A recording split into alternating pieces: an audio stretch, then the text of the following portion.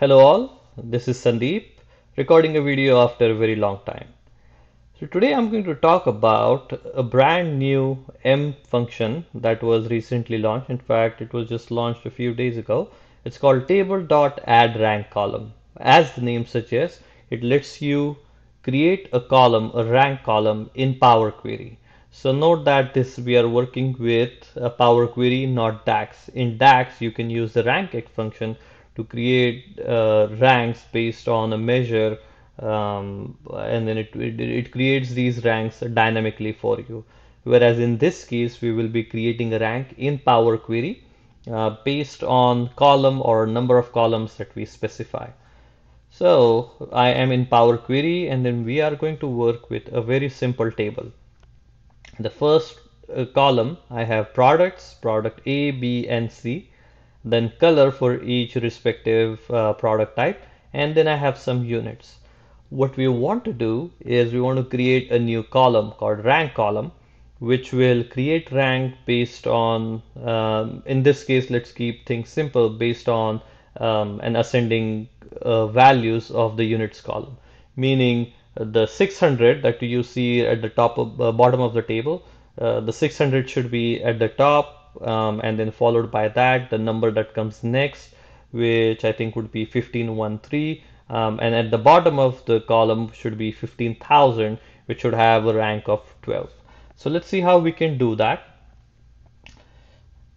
So the table dot add rank column the uh, the parameters that you need to specify are the table as table um, the name of the column and then the comparison criteria. So let's take a look at it and how it works.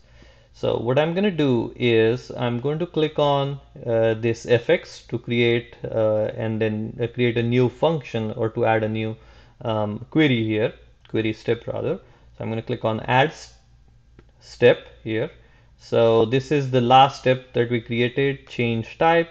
I'm going to highlight that and then wrap it in a nice bracket and let's drop table rank. And then I am going to call what is the name of the column that we want to add here. So it's called let's say rank. And then what is um, the the name of the column that we want to use uh, for for the ranking. So we go we want to create the rank column based on the values that are in the units column. So let's specify that.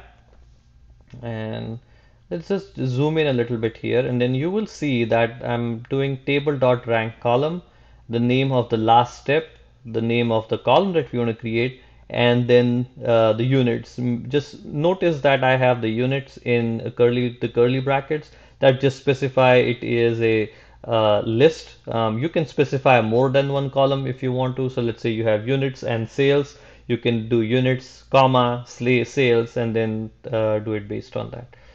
So let's just go here and then click on this button. And then you will see as expected we have this rank column. So we have rank 600 and then 1513 and then at the bottom of the row it's 15,000 um, and the value is 12.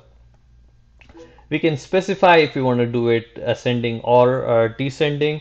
Um, what I would suggest you do is you can look at this uh, and then so basically you can do order dot descending or order dot ascending right so in our case, we can specify I want this to be order dot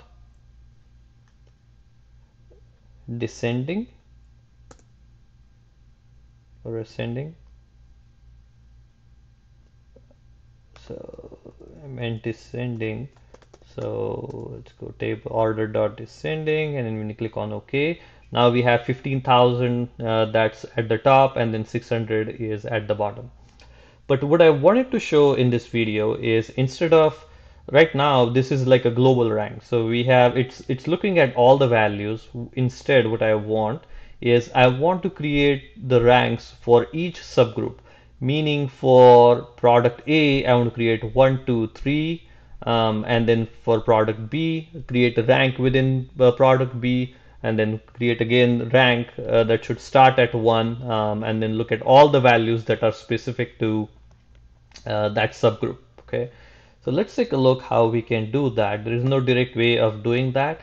But essentially you can think of it as our partition uh, partition over that you use in SQL right? That's exactly what we're trying to do here.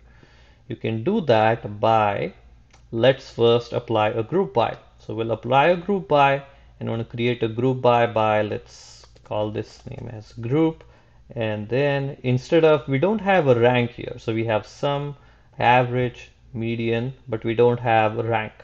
So instead we will create it by all rows and then click on okay before I click on okay just want to zoom in. So we have product. You can name it whatever uh, name you want for the new column and then the operation is all rows right? So click on that. So this generated two columns. So we have product uh, which is what we grouped by and then a second column uh, which has a table as uh, these field values right? And what we want to do for each of these individual tables we want to add a column uh, rank column for each of these subgroups okay? And we can do that easily by essentially using the exact same with just a, a small tweak. I'm gonna go to uh, add column and then custom column and then what do we want to do? We want to call this as a rank column and then table rank.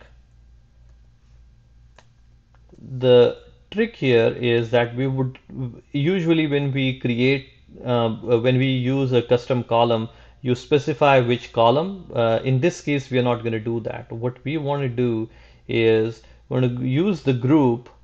So we'll use the group right? And then I'm gonna call it rank column. And then we want this to be the by units right? And then we will close it. So let me zoom in. So we have rank table dot rank column group rank and then units. So what we are essentially saying is that hey power query go to each row in the group and then for within that group create a new column called rank based on the units column right? So let's click on OK. And then when we click on this you will see that it created this one two three four. If we go to the next one uh, one two three. Now we don't need this group anymore so let's just remove that. I'm gonna click on these two um, arrows the uh, the bunny ears and then click on this. We don't need a product. We already have that column and then click on OK. And now you will notice that we have for for uh, A we have 1 2 3 4 and then same thing for B 1 2 3 4 5 and then product C is 1 2 3 so this way you can create a subgroup ranking uh, in Power Query, which is very, very powerful. Uh, one thing that I should note here uh, that I noticed is when you create these uh, rank columns um, in Power Query, first of all, it is not foldable. So be aware of that, that if you do create it, it should be um, as late as possible in your query steps so that you can take uh, full advantage of um, query folding. And then second is that notice that as soon as, let me go one step up here and then you will see. So when I created uh, these columns earlier, let's go up here so we have 7653 and 4549, right? Uh, but you will notice that as soon as these uh, this rank column is created, it your column that you use for ranking purposes, it is always sorted.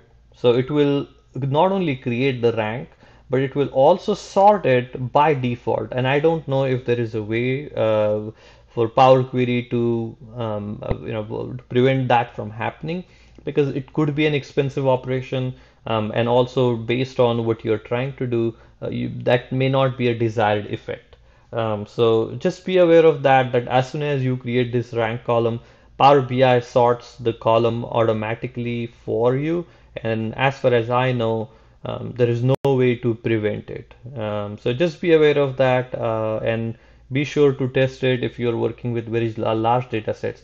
Be sure to test uh, it and see what are the performance implications.